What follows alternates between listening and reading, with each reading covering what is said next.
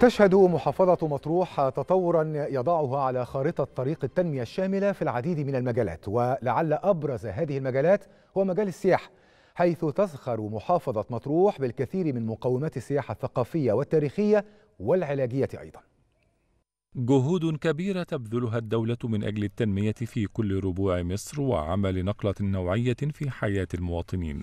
محافظة مطروح كانت شاهدة على هذا التطور، حيث لم تغفل الدولة الاهتمام بتلك المحافظة ووضعها على خارطة طريق التنمية الشاملة في العديد من المجالات منها مجال السياحة، وتزخر محافظة مطروح بالكثير من مقومات السياحة الثقافية والتاريخية والعلاجية أيضا في رمال واحة سيوة والسياحة البيئية في نطاق نطاق محميات العميد وسيوة والسلوم فضلا عن سياحة السفاري. وعلى مر العصور كانت مطروح شاهدة على الكثير من الأحداث التاريخية الهامة. لذلك اهتمت الدولة بالناحية التاريخية لمدينة مرسى مطروح وأنشأت متحف الآثار بمطروح. ويضم العديد من القطع الأثرية التي تبرز إنجازات ملوك مصر خلال العصور المختلفة. وثقافيا تم تطوير مكتبة مصر العامة بمطروح وافتتاحها في العيد القومي للمحافظة في ديسمبر 2020 2020 كما يجرى العمل على تنفيذ مشروع المدينة التراثية بالعالمين الجديدة محافظة مطروح حظت خلال السنوات الأخيرة بنصيب كبير من التنمية في مختلف المجالات في ظل الجمهورية الجديدة بعد عقود من التهميش وعدم استغلال مقومات المحافظة الواعدة. أما مدينة العالمين الجديدة إحدى مدن الجيل الرابع فقد جذبت الأنظار إليها خلال الفترة الماضية مما ساهم في تنشيط قطاع السياحة لا سيما الداخلية مع إقامة المهرجانات